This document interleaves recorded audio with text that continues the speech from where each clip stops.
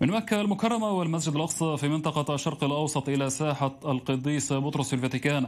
الكثير من الأماكن المقدسة تعرضت لإغلاقات بسبب الفيروس. شعائر دينية أيضا قلصت. التقرير التالي يسلط الضوء على أثر الفيروس من بعد ديني. بين الصلاة لإنهاء الوباء وإغلاق للمصليات وحال الدول العربية والإسلامية في ظل تفشي فيروس كورونا. إغلاق للمصليات المسقوفة داخل المسجد الأقصى. إجراءات جديدة أعلنت عنها دائرة الأوقاف الإسلامية لمحاربة تفشي الفيروس. لم يكن إغلاق المساجد وإلغاء العمرة وتعليق الزيارات الدينية لإيران بأمر من الحكومات حلا أمام ممارسة العبادات الدينية للمسلمين في ظل تفشي الفيروس.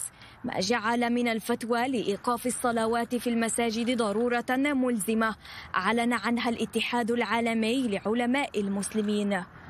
وباء عالمي لم يفرغ الشوارع من عابريه فقط بل جعل من الأماكن المخصصة لممارسة الشعائر الدينية مكانا خطيرا قد ينتشر فيه الفيروس.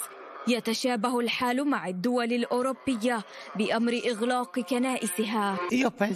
أنا معتاد على الذهاب إلى القداس وأشعر بعدم الارتياح لكني مقتنع بأن إغلاق الكنائس كان القرار الصحيح لأن الاتصال أمر لا مفر منه في الكنيسة. لذا من الجيد اتخاذ جميع الاحتياطات الممكنة. ومن جهة أخرى أعلن الفاتيكان عن إغلاق صلوات عيد الفصح في ساحة القديس بطرس أمام المشاركين مؤكدا توفرها عبر البث المباشر فقط حتى شهر أبريل. فيما دعا الرئيس الأمريكي دونالد ترامب الأمريكيين للصلاة في يوم جعله وطنيا للبلاد مناديا بالدعاء للحماية من فيروس كورونا.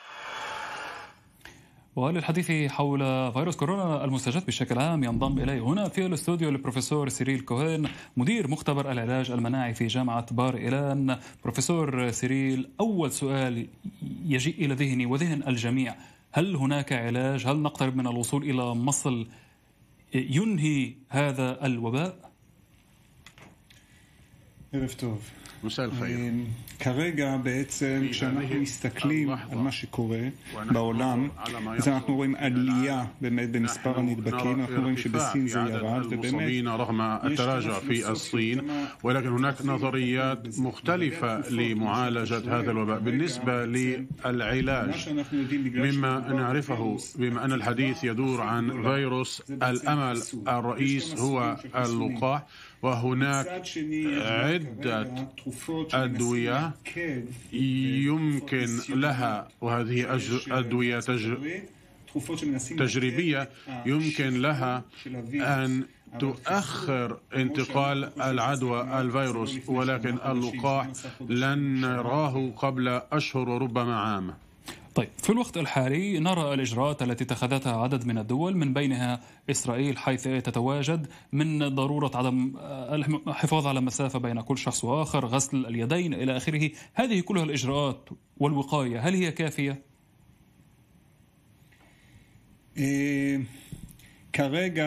في هذه المرحلة هذه الإجراءات تثبت نفسها. علينا أن نفهم أن ما نراه من ناحية المرضى. صورة اليوم هي نتيجة الإجراءات التي اتخذت قبل أسبوعين. بما أننا نعرف أن الفيروس يعدي ويأخذ بين أسبوع إلى عشرة أيام حتى يظهر المرض. فنحن نرى الآن نتائج الخطوات التي اتخذتها السلطات قبل أسبوعين. ولكن لا شك أنه في ظل التطورات علينا تجديد هذه الإجراءات لمنع انتقال العدوى. نحن الآن نسيطر لأننا نعرف أنه في غالبية الأحيان نعرف كيف انتقلت العدوى كيف أصيب المرضى ولكن هناك ارتفاع في عدد المرضى الذي لا نعرف مصدر إصابتهم. هم هم مرضوا بسبب انتقال العدوى من أشخاص آخرين والخوف أنه داخل المجتمع هناك أشخاص لم يتم فحصهم وهم يحملون الفيروس. لكن أعود إلى السؤال الذي كنت قد سألته لمراسلنا. نظريا هناك الكثير من التعليمات لكن تطبيقيا هل هي واقعية لأن يتم يتم تنفيذها من قبل الجميع وأن يحترمها الجميع من مواطنين وغيرهم.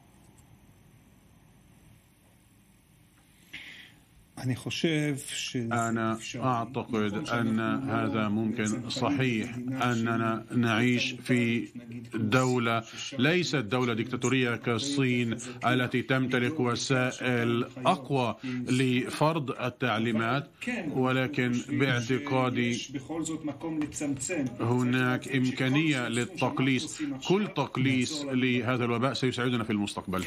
إذا ما استمعت إلى ما يصدر عن بريطانيا فكان هناك قرار أو توجه مختلف عن باقي الدول. قالوا بأننا سوف نترك الموضوع على حاله ليمرض الناس ويتمتعوا بمناعة. هل هذه يعني هل هذه طريقة جيدة للتعامل مع الموضوع؟ إيه، هذا احتمال. هذه تجربة على مستوى الدولة بأسرها. هذا توجه ولكن إذا ما نرى ما يقوله بوريس جونسون رئيس وزراء المملكة المتحدة قبل عدة ساعات وقال استعدوا أن تفقدوا أشخاصا عزيزة عليكم. ولا أعتقد أننا نريد أن نصل إلى هذا الوضع. ربما تكون حساباتهم صحيحة ولكن ماذا لو تطور الفيروس ورأينا فيروسات أخرى؟ البروفيسور سيريل كوهين مدير مختبر العلاج المناعي في جامعة بار شكرا جزيلا لك.